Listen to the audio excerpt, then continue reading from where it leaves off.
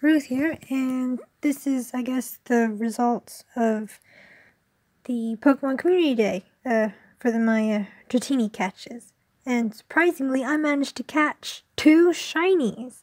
So I was really uh, psyched about that. Um, I evolved one because I caught it and it was like already maxed out CP, so I thought might as well evolve it since I it turned out I had enough. So um the other shiny, unfortunately, was like only two digit, very low. So I'll put pictures up all of the stuff.